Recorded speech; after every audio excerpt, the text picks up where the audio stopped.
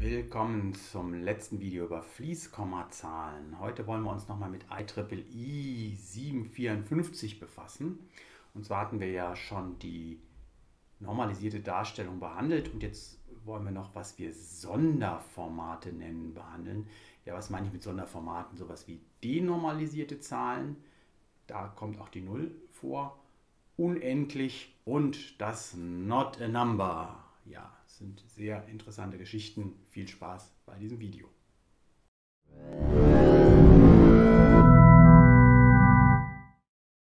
Ja, hier sehen Sie nochmal die Formate, die wir bei IEEE 802 kennen. Und zwar immer noch im Single Precision Format. Analog sind das die Double und die höheren Formate auch noch.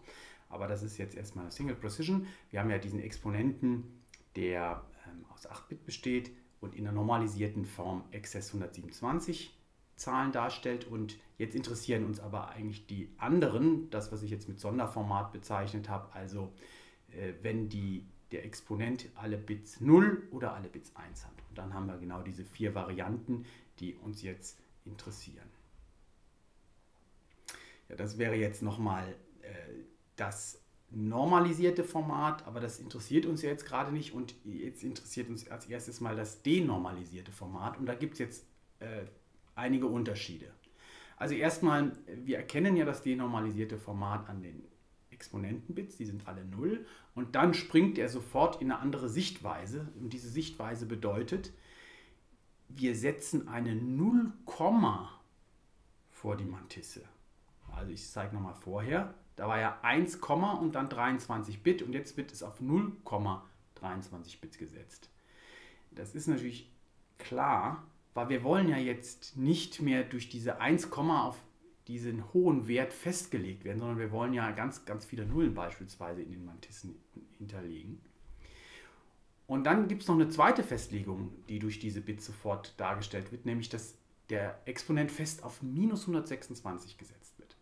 So, Im letzten Video haben wir schon gesagt, das ist ja irgendwie ein bisschen kurios, weil im Exzess 127 wäre ja die kleinste Zahl minus 127. Minus 127.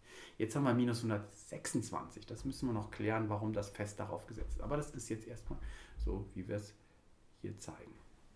So, wir springen jetzt direkt zu unserer Anwendung. Hier sehen wir Exponent alles 0 Bits. Das ist die denormalisierte Darstellung. Und jetzt haben wir eben schon auch diesen einen Sonderfall, nämlich wenn die Mantisse auch aus lauter Nullen besteht, dann haben wir die 0. Und ich habe ja schon gesagt, die 0 und der denormalisierte Bereich ist im Grunde genommen das gleiche. Also wenn wir jetzt mal was anderes machen wie die 0, nehmen wir mal hier zum Beispiel 0,1, dann haben wir eine denormalisierte Zahl. Hier sehen Sie zum Beispiel 5,8 mal 10 hoch minus 39 wäre der Wert, der dabei rauskommt. Und man sieht jetzt auch sofort, dass die 0, an dieser Stelle ergänzt wird. Die wird ja nicht gespeichert, das ist nochmal ganz wichtig, das hervorzuheben. Nur die 23 Mantissenbits.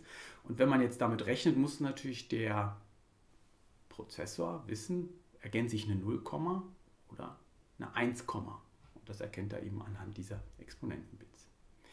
Was interessiert uns noch? Uns interessiert beispielsweise, was ist denn jetzt die größte und kleinste denormalisierte Zahl? So größ, größte Zahl ist äh, wieder, wenn ich hier alles auf 1 setze. Das ergibt natürlich die größte Matisse. Hier kann ich jetzt nichts mehr ändern, weil das ist ja in der denormalisierten Variante ist das fest. Und dann ergibt sich dieser Wert. Ja, wir wollen uns vielleicht diesen Wert noch mal etwas genauer zu Gemüte führen. Wir haben ja 0,1 und dann haben wir 23, also insgesamt 23 Einsen mal 2 hoch minus 126. So, das ist jetzt die minus 126 ist wie gesagt fest. Die können wir jetzt nicht durch irgendeine Exzessentwicklung uns ähm, erschließen. So, was ist denn das hier? Das ist eigentlich ungefähr 1. Also wenn man es ganz genau nehmen würde, wäre das 1 minus 2 hoch minus 23. Aber wir, wir approximieren das mal mit 1, weil es mit die, die, das Kleine, was wir da abziehen, das fällt eh nicht so ganz äh, ins Gewicht. Also das heißt, diese Zahl ist insgesamt 2 hoch minus 126.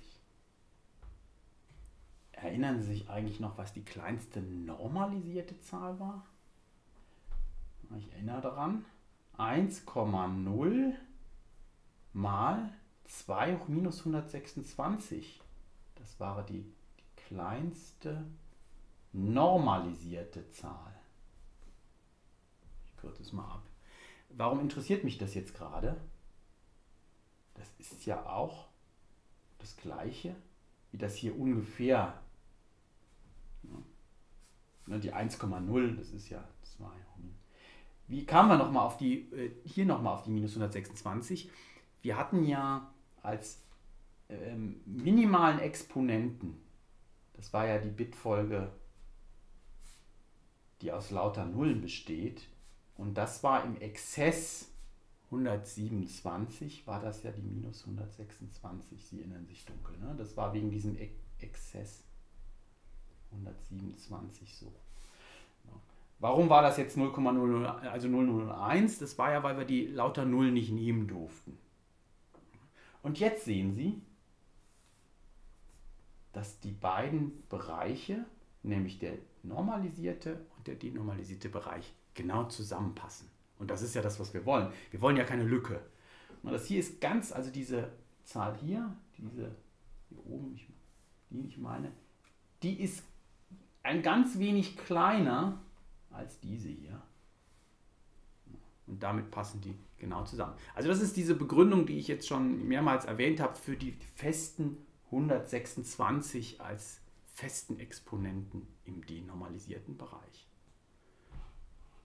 Ja, vielleicht müsste ich noch mal klären, was ist denn jetzt die kleinste denormalisierte Zahl größer 0? Die kleinste, also 0 ist klar, die kleinste denormalisierte Zahl. Das wäre ja 0,0 und dann hätten wir 22 Nullen und dann eine 1. Ja, und wie gesagt, das hier ist fest. Ja, und das ist ja 2 hoch minus 23 mal 2 hoch minus 126. Ja, was ist das? 2 hoch minus 149. Das ist die kleinste. Schauen wir uns das mal auf dem Rechner an. Ich setze mal hier alles auf 0 und dann mache ich hier hinten noch die 1. Und dann haben wir, das ist jetzt natürlich in der Dezimalschreibweise dargestellt, aber das entspricht dem 2 hoch minus 149. Das ist die kleinste darstellbare Zahl und das ist natürlich schon eine sehr, sehr, sehr kleine Zahl. Das ist also, man kommt weiter nach unten, als man nachher bei dem Maximum weit nach oben kommt. Da kam man ja nur bis 2 hoch, 10 äh, hoch 38, Sie erinnern sich dunkel. So, was bleibt jetzt noch übrig? Die 0 haben wir gesagt, ist ja sowas ähnliches wie denormalisiert. Es bleibt jetzt noch not a number und infinite plus minus übrig. Ja, wir nehmen mal, fangen mal mit infinite an. Also das ist plus, minus und endlich. Das ist eine sehr kuriose Geschichte. Also als Gedankenexperiment. Wir schreiben ein Programm, was irgendwann mal ausrechnet 2 hoch 1 durch 2 hoch minus 149. So, warum kann ich das überhaupt in einem Programm schreiben? Weil wir haben ja eben festgestellt, dass wir in der denormalisierten Darstellung so tief nach unten kämen. Also könnte ich ja ruhig diese beiden Zahlen mal durcheinander teilen. Jetzt würde das der äh, mathematische Prozessor aus oder der, die, die CPU würde das ausrechnen. Da würde ja sowas hier rauskommen. Und wenn man das jetzt mal ins Zehner-System umrechnet, dann kommt da raus, es ist ungefähr 7,1 mal 10 hoch plus 44. Das kann ich nicht mehr darstellen. Nicht mit Single Precision. Nehmen wir mal an, ich würde das jetzt auf Float casten. Das, und jetzt passiert nämlich folgendes. Jetzt sagt äh, der, der mathematische Koprozessor oder das, die Floating Point Unit sagt, naja, das ist wohl eine sehr große Zahl, die ist größer als das, was ich äh, darstellen kann, dann macht es einfach unendlich draus. Und das ist natürlich aus der Sicht der Mathematik ist das natürlich nicht richtig. Unendlich kann man nicht irgendwie als Ergebnis einer Rechnung rausbekommen. Aber ähm, es ist nützlich, weil es soll eigentlich nur darstellen, dass da eine sehr große Zahl dahinter ist. Und äh, das, jetzt kann man mit diesem unendlich kann man ein Stück weit rechnen. Also erstmal vielleicht, wann kommt unendlich raus? Ne? Wenn ich zum Beispiel 1 durch eine sehr kleine Zahl habe, ich schreibe mal sehr klein, Sie wissen, wie ich es meine, dass das, das wird zu unendlich. Ähm, ähm, ich kann auch sogar äh, eine negative Zahl durch eine sehr kleine nehmen. Dann kommt wirklich minus unendlich raus. Das ist auch irgendwie eine sinnvolle Geschichte. Äh, was kann man noch machen? Man kann zum Beispiel sagen, 1 durch, ich schreibe mal unendlich hin. Ja, das kann man äh, so ähm, ausrechnen lassen. Und da kommt 0 raus. Also die Mathematiker würden sich jetzt irgendwie ein bisschen wundern, aber es ist irgendwie auch sinnvoll. Man könnte auch sagen, naja, es ist eigentlich eine sehr kleine Zahl, die da rauskommt und das, das kann ich auch mit einer 0 symbolisieren. Und genauso kann ich zum Beispiel minus 1 durch unendlich machen, da kommt minus 0 raus. Ja, also spätestens bei dem minus 0 äh, wird es irgendwie echt kurios. Was kann man noch machen? Man kann unendlich mit unendlich multiplizieren in einem Programm und da kommt wirklich äh, plus unendlich raus. Wir haben also einen Wert unendlich der durch eine gewisse Bitfolge signalisiert ist und den kann man in eine Variable speichern mit so einem Fließkomma-Datentyp. Und da kann man ein Stück weit rechnen und man kann es auch vergleichen. Äh, es gilt nämlich einfach, dass ähm, jede, äh, jedes Unendlich oder das Unendlich ist größer als eine normalisierte Fließkommazahl und die sind natürlich größer als die denormalisierten Fließkommazahlen, die wiederum größer als 0 sind. Und jetzt kann man das auf dem negativen Bereich fortführen. Das ist also kleiner als die negativen denormalisierten und die sind größer als die negativen normalisierten und die sind größer als minus unendlich. Also äh, damit kann man auch Vergleiche machen. Also Sie können in Ihrem, in Ihrem Programm in so einem if kann man ja irgendwie vergleichen, x größer 0, ist ja so, so ein Vergleich.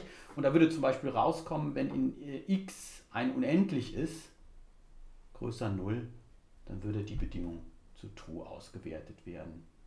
Oder unendlich ist größer als minus unendlich oder 5 ist kleiner als unendlich und und und. Sie können sich vorstellen, wie man das einsetzen kann. Und das ist natürlich eine schöne Geschichte. Also Sie können zum Beispiel, wenn Sie ein Programm haben und Sie suchen das Minimum äh, und Sie wollen, dass das erste sofort als Minimum gewertet ist, dann setzen Sie zum Beispiel so ein Fließkomma-Variable erstmal auf plus unendlich. Und dann wissen Sie ganz genau, jede äh, endliche Zahl ist kleiner und kann damit äh, die Bedingung erfüllen.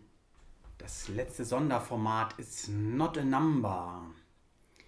Wie infinite bestehen alle Exponenten aus 1, nur dass man jetzt die Mantisse aus irgendwas anderes darstellen kann, wie lauter Nullen. Das heißt, es gibt also ganz, ganz viele Varianten, not a number darzustellen. Das ist äh, aber von der Auswirkung alle identisch. Ne? Das ist der Unterschied zwischen infinite und not a number. So, was ist not a number? Das ist ja erstmal ein Widerspruch in sich. Also ich speichere in einer Fließkomma-Variablen eine Zahl, die keine Zahl ist. So, was ist denn damit gemeint? Die Idee ist, dass man die Ergebnisse von mathematischen Funktionen, für die diese Eingabe gar nicht erklärt ist, dass die das Ergebnis not a number zurückgeben. Also mal ganz konkret, wenn ich zum Beispiel Wurzel aus minus 1 ausrechnen möchte, also ich habe eine Library-Funktion, Square Root beispielsweise, die, die soll das ausrechnen, dann wissen wir ja, wenn wir keine komplexen Zahlen haben, dann ist das Ergebnis nicht erklärt, weil wir überhaupt gar, nicht, gar keine negativen Zahlen unter der Wurzel haben dürfen. Und dann gibt die Funktion not number zurück. Ein weiteres Beispiel wäre, wenn wir Arcus Sinus nehmen von 2. Ne, der Sinus äh, ergibt ja Werte zwischen minus 1 und 1 zurück. Also um, die Umkehrung muss natürlich dann auch von minus 1 bis 1 Werte entgegennehmen. Und wenn ich das ausrechne, dann würde man not a number zurückgeben. Als letztes Beispiel äh, unendlich, das können wir ja jetzt speichern, geteilt durch unendlich. Also auch hier würden die Mathematiker äh, am Rad drehen, aber das kann man ja rechnen, wenn wir Fließkommazahlen haben. Aber jetzt, jetzt wissen wir, dass wenn man irgendwas durch unendlich teilt, was endlich wäre, dann kommt da 0 raus. Das haben wir ja schon geklärt. Aber wenn ich unendlich selbst nehme, dann ist kein Wert irgendwie sinnvoll. Und dann würde typischerweise unsere Laufzeitumgebung auch not a number zurückgeben. Wenn ich einer Variable diesen Wert not a number zuweise, dann muss ich ihn ja auch in Vergleichen verwenden können. Also ich habe ja vielleicht in meinem Programm sowas wie if x größer y, dann soll er irgendwas machen. Das heißt, es, diese, diese Bedingung muss ja zu irgendeinem Wahrheitswert ausgewertet werden, unabhängig davon, ob da vielleicht in x oder y not a number ist. Und deswegen kann man tatsächlich not a number auch vergleichen, allerdings mit kuriosen Effekten. Also zum Beispiel äh, könnte man fragen, was ist denn not a number größer 0? Was ist, es, ist das denn so? Und jetzt ergibt sich bei not a number, dass es immer weder größer noch kleiner ist als eine echte Zahl. Also wenn ich frage, ist not a number größer als 0, dann muss es zu false ausgewertet werden. Aber auch wenn ich not a number kleiner als 0 frage. Und das ist kurios, weil in der Mathematik kann das ja nicht beides falsch sein. Aber bei not a number ist es eben so, weil not a number so eine kuriose Zahl ist. Ich könnte auch fragen, ist eigentlich not a number identisch mit not a number vom Wert her? Man würde erwarten, dass wenn in beiden, äh, auf beiden Seiten des äh, Vergleichs das, die gleiche Konstante steht, dass dann immer True rauskommen muss. Auch hier verhält sich not a number sehr kurios und konsistenterweise allerdings ist es immer ungleich mit sich selber. Das ist also der erste Wert, der erste Vergleich, wo mal True rauskommt. Bleibt vielleicht noch zu klären, was ist denn not a number größer not a number für einen Wahrheitswert? Und da ist es false und auch bei kleiner ist es false. Auch das ist vielleicht verwirrend, aber Konsistenz, konsistent, man kann eigentlich sagen, not a number äh, ist im Vergleich zu allen äh, anderen Konstanten immer falsch, außer man testet auf Ungleichheit. Das mag nicht immer konsistent so in den Laufzeitsystemen implementiert zu sein. Ich habe das jetzt mal bei Java getestet, da kommen diese Wahrheitswerte raus. Man könnte da sicher auch andere Wahrheitswerte sich überlegen. Äh, es bleibt aber unterm Strich, dass es immer verwirrend ist und sich diese Zahl not a number im Gegensatz zu unendlich sehr eigenartig verhält, was Größenvergleiche betrifft. Deswegen ist es mit Vorsicht zu genießen. Im Umkehrschluss sollten Sie mal irgendwann ein Programm entwickeln, wo äh, absolut unplausible Größenvergleiche rauskommen. Also es kann nicht gleichzeitig größer als 0 falsch sein und kleiner als 0 falsch sein, es sei denn, es ist 0. Aber ich könnte zum Beispiel auch das hier schreiben, dann würde das gleiche rauskommen. Das kann also so nicht sein. Also wenn sowas absolut Unplausibles rauskommt, dann ist das ein Indiz dafür, dass Sie sich vielleicht aus Versehen not a number als Konstante eingehandelt haben, ohne es zu bemerken. Not a number ist schon eine sehr smarte Einrichtung, weil Sie können immer ein Funktionsergebnis zurückbekommen und können das in einer Variable speichern. Das Problem ist natürlich, dass Sie nicht unbedingt erwarten, dass sie not a number bekommen. Und man kann mit not a number kann man jetzt weiterrechnen. Also not a number mal 5 ist not a number. Not a number plus not a number ist not a number. Äh, das birgt eine ganz dramatische Gefahr, wenn Sie also ein Verfahren, ein mathematisches Verfahren implementiert haben, was über mehrere Funktionsaufrufe geht, vielleicht auch irgendwie stundenlang rechnet und Sie kriegen am Ende not a number raus. Und es wurde nie ein Fehler gemeldet. Dann wissen Sie gar nicht, wo das passiert ist heißt, eigentlich wäre es günstiger, wenn Ihr Programm zum Beispiel bei Berechnung von Wurzel minus 1 mit einem Fehler abbricht, also nicht das ganze Programm, vielleicht nur die Funktion mit einer Exception, dann wüssten Sie an dieser Stelle, dass Ihr Programm eine falsche Annahme hat. Ne? Und das ist also die große Gefahr. Viele Laufzeitsysteme rechnen aber einfach weiter und äh, ja, man wundert sich dann als Entwickler, dass am Ende des Tages not a number ausgerechnet wird. Ja, das ist jetzt das Ende dieser kleinen Reihe über Fließkommazahlen. Wir haben angefangen von den Schulbuchformaten mit der Normalisierung, die dort gemacht wird, über denormalisierte Darstellung bis hin zu IEEE mit seinen Spezialformaten die wesentlichen Inhalte über Fließkommazahlen behandelt. Ich hoffe, Sie fanden es hilfreich und erhellend.